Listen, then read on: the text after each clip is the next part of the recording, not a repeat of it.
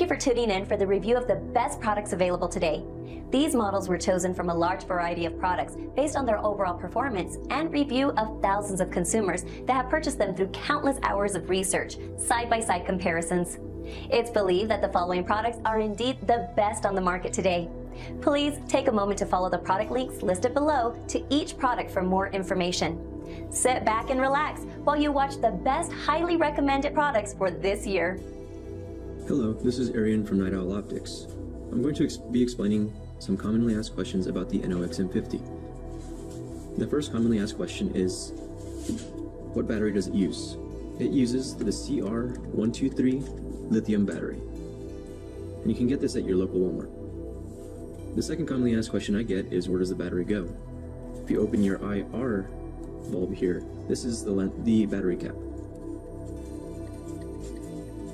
And I will demonstrate how to put in your battery. You will put it positive side facing down and screw the IR bulb back on.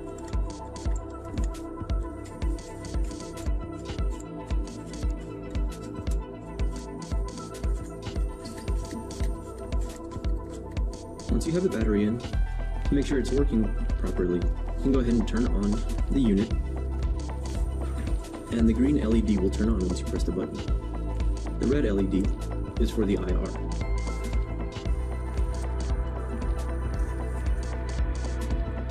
Now another thing that you have to do once you start your unit to make sure it's functioning properly is look at a calendar or a clock on the wall and focus the eyepiece until you can see the numbers or the letters.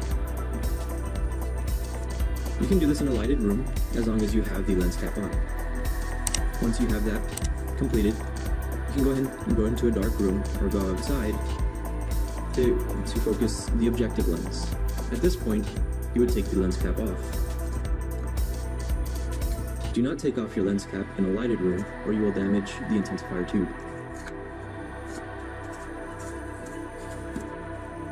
Another commonly asked question that I have is how do you focus the unit? It keeps falling out. Now, that is because sometimes the objective lens gets stuck to the inner lens here. And at that point, you would be focusing it with the inner lens. Some people will have to hold it in the, the objective lens in order to, for it to be focusing properly. To remedy this, screw in your objective lens all the way to the right or clockwise, like that. Go ahead and hold onto the inner lens with your thumb and your forefinger and twist the objective lens counterclockwise or to the left. At this point, they should be unhinged now, and you should be able to use it correctly. Now screw the objective lens back in, focus your eyepiece, then go outside, remove your lens cap, and try to focus your unit. If you still have problems after this, please call one of our customer service technicians at 915 633 8354. Thank you.